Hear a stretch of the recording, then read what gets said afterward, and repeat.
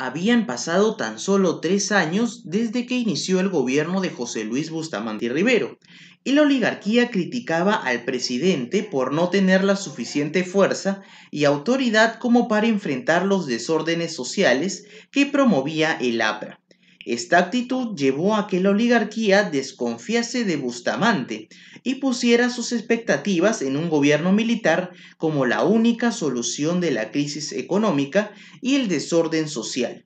Así, debido principalmente a las pugnas o enfrentamientos entre Bustamante y el APRA, desde Arequipa se orquestó un golpe de Estado, el 27 de octubre de 1948 este golpe se conoció como la Revolución Restauradora, liderada por el general Manuel A. Odría, con el apoyo del general Zenón Noriega, con lo que se obligó a Bustamante a abandonar el país y se formó una junta de gobierno.